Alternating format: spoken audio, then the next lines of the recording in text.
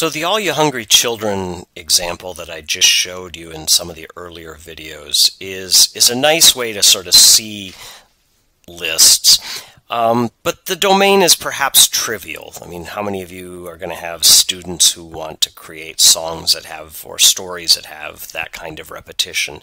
How many of you are going to want to make that kind of thing? So why would I teach you a list? What's the purpose of a list and how might you or your students actually use it? The, the, the thing I want to show you as the next example for lists is perhaps arguably a, a better way uh, or, a, or a more accurate way of how you might be inclined to use a list. And that is to create a simple kind of quiz situation. Um, you know, if you think back to the All You Hungry Children example, we had two parallel lists. We had the list of the days of the week and the list of the food. And I say they were parallel because, you know, slot number one in each list went together. Slot number one was Monday in the, the day of the week list, and it was the string beans in the food list. Slot number two was the Tuesday in the day of the week list, and, and it was the uh, what was it, spaghetti in the in the, the food list. And so when you think about that idea of having two lists where the two things go together, one of the things that might pop into your mind is the idea of some sort of a quiz, where you have one list, which is the questions, and another list, which is the corresponding answers.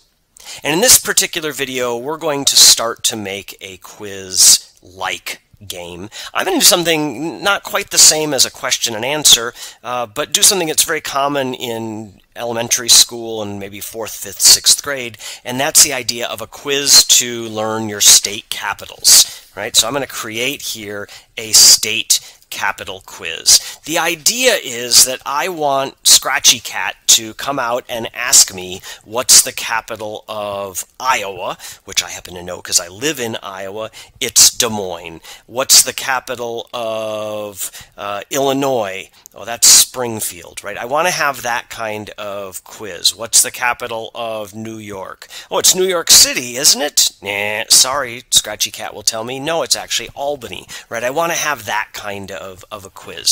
So I want to create the quiz that goes back and forth between uh, the question, which in my case is the is the state, and the answer, which again in my case is the capital of that state. And if you're international, I understand that this is kind of a strange domain for you. You're not used to thinking about American states and their cities or capitals. But we could do the same thing for countries and their capitals, right? What's the capital of Spain? What's the capital of Malaysia? What's the capital of the United Arab, United Arab Emirates? What's the capital of Portugal? Right? We could do all of that.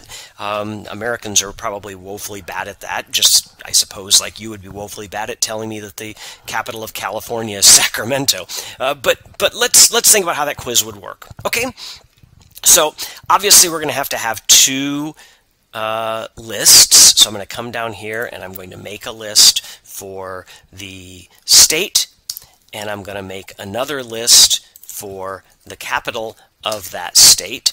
And I don't know about you, but the idea of typing all 50 states into here and all 50 capitals, capitals into here is daunting uh, because my spelling skills and my typing skills aren't always the best, and I'm going to end up misspelling Massachusetts. I'm going to misspell something like uh, Springfield and actually have somebody type the right answer when they tell me the answer of Illinois is Springfield but because I had spelled it wrong in my answer key, they're going to get no credit.